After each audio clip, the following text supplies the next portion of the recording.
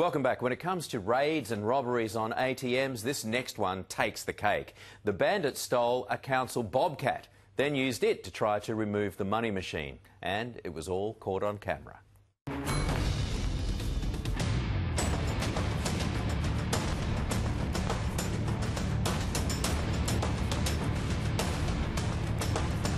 Dumb and dangerous.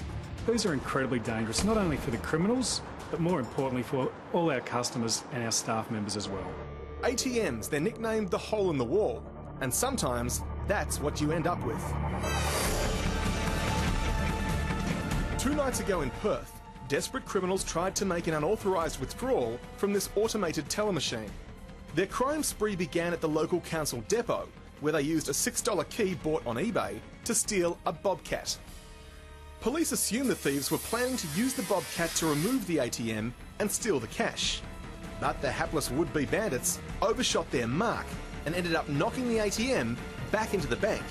They fled empty-handed. Becoming more common because I think there's a perception amongst some of the criminals that these are soft targets. Across the country, ATMs have been targeted by criminals with mixed results.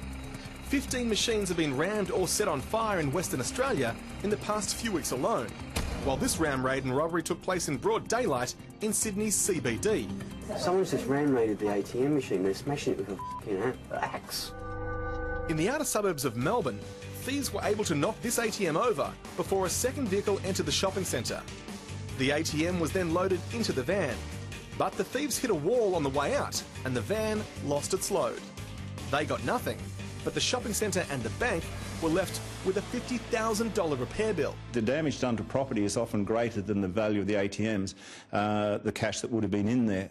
So now the banks and the shopping centres are fighting back with the help of Richard Gould from Lockett Systems Australia. He makes the Raminator, which is a kind of shock absorber for ATMs.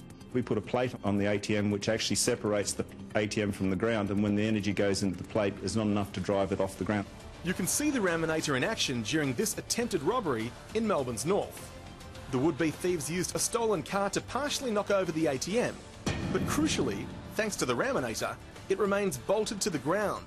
They can do all they like around it, ram it again if they want. That ATM staying where it is, which is on the ground where it was.